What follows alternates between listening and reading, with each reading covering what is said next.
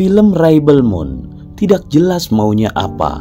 Dari bagian pertama, Rebel Moon A Child of Fire, Zack Snyder berhasil menggambarkan sebuah opera luar angkasa yang epik dengan sangat meyakinkan melalui gambar luar angkasa dan planet fiksi yang memukau ditambah dengan narasi yang mempermudah pemahaman tentang dunia yang diciptakannya. Film ini menawarkan sebuah petualangan yang menjanjikan pengalaman menonton yang sangat asyik.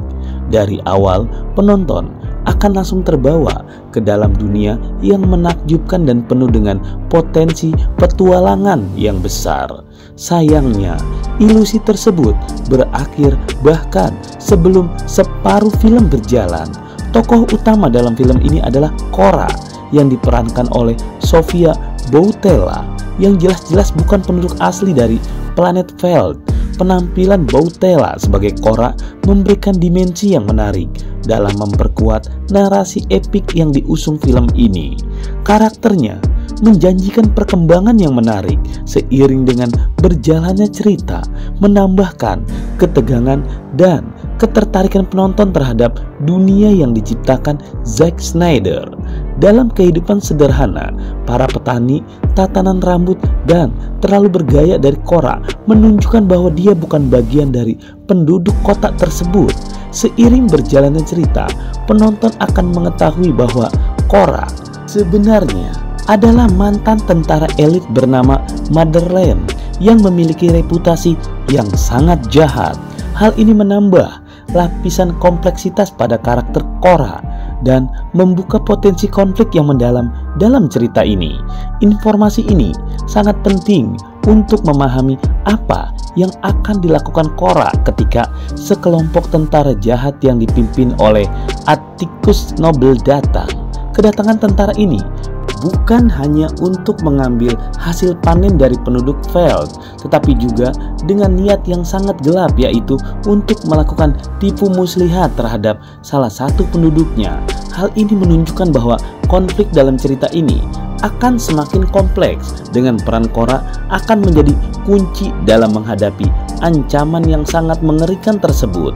Korra memutuskan untuk tidak lagi bersembunyi dan bersama dengan Gunnar memulai perjalanan epik untuk mencari sekutu dalam melawan penguasa jahat tersebut. Selama perjalanan mereka, Korra dan Gunnar bertemu dengan sejumlah karakter yang menarik seperti si pencuri ganteng bernama Kai, tukang besi yang mampu menaklukkan binatang buas bernama Tarak, seorang cyborg yang mahir memainkan pedang bernama Nemesis, mantan jenderal bernama Titus, dan terakhir seorang legenda bernama Darian Kapak Darah. Pertemuan dengan para karakter ini menambah dimensi baru dalam cerita dan menjanjikan pertempuran epik yang akan memikat para penonton. Film ini memiliki sejarah yang menarik karena awalnya Zack Snyder mempitch ke Disney untuk menjadi salah satu bab dalam dunia Star Wars.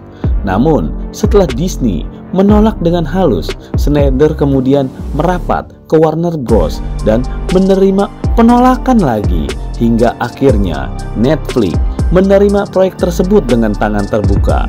Perjalanan film ini sebelum akhirnya diterima oleh Netflix menunjukkan bahwa ide ini memiliki potensi besar yang akhirnya diakui oleh platform ini.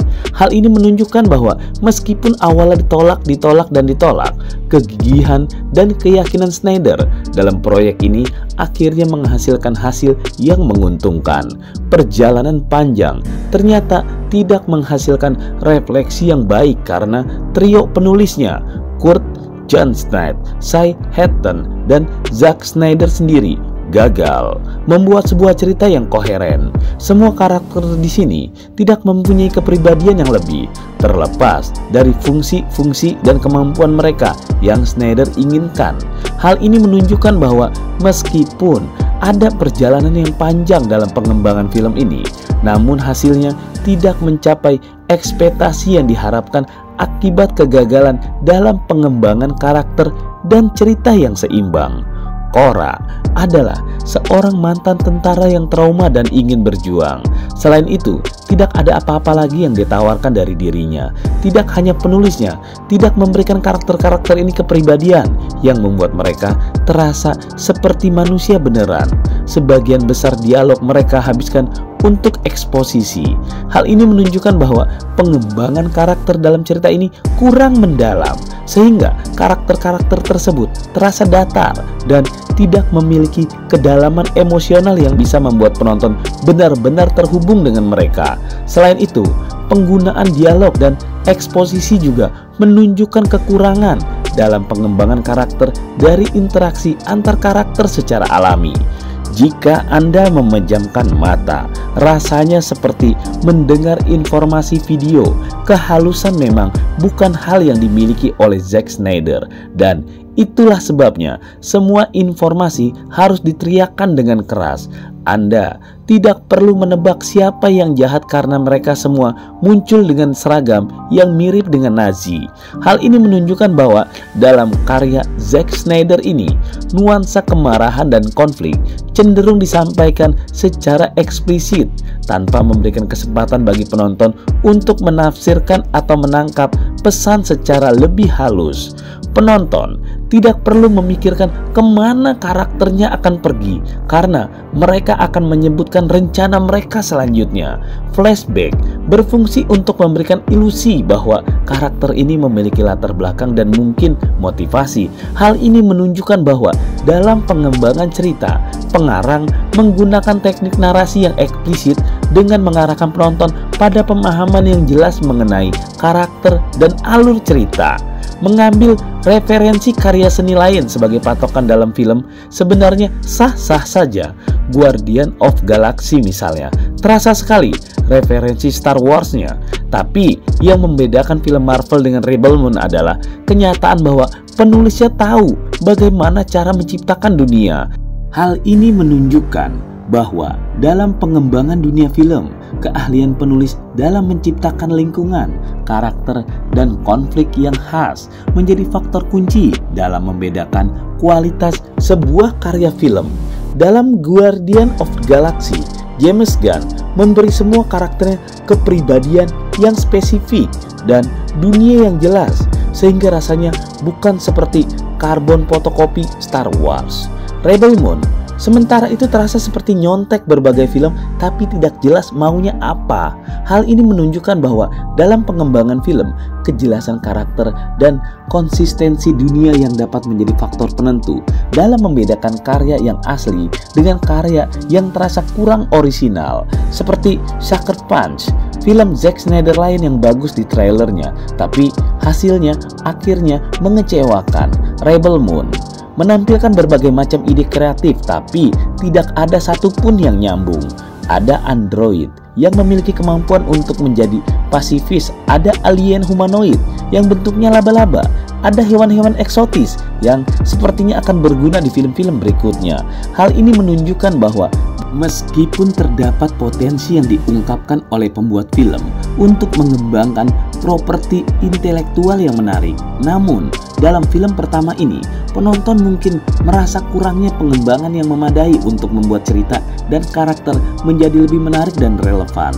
Tentu saja, seperti film-film Zack Snyder yang lain, Rebel Moon penuh dengan ciri khasnya yang tidak bisa dilewatkan palet warna yang spesifik, desain produksi yang mentereng, dan tentu saja menggunakan slow motion. Bukan film Zack Snyder namanya kalau tidak menampilkan adegan-adegan seperti speed ramp. Hal ini menunjukkan bahwa dalam Rebel Moon, Zack Snyder tetap setia dengan gaya visualnya yang khas, termasuk pemilihan warna yang kuat, desain produksi yang mencolok, dan penggunaan slow motion yang menjadi ciri khasnya. Adegan laganya lumayan menarik, tapi tidak istimewa. Banyak penonton yang tidak begitu menikmati Rebel Moon. Akan tetapi, ada banyak orang juga yang memang sepertinya menikmati, dan itu tidak lagi menjadi salah siapa pun. Setiap orang memiliki pengalaman menonton yang berbeda, dan itulah indahnya menonton film. Hal ini menunjukkan bahwa setiap penonton memiliki preferensi dan pengalaman menonton yang berbeda-beda, sehingga wajar jika beberapa penonton merasa kurang terhubung dengan Rebel Moon, sementara yang lain mungkin menikmatinya. Keanekaragaman pengalaman menonton inilah yang membuat dunia film begitu menarik dan memikat. Film Rebel Moon tersedia di Netflix, termasuk dalam film genre fiksi ilmiah dan aksi. Film ini menampilkan adegan kekerasan yang kuat, penyerangan sadis, pakaian seksi, gambar berdarah, bahasa kasar, serta situasi seksual dan ketelanjangan sebagian. Semuanya dalam durasi film sepanjang 135 menit atau 2 jam lebih.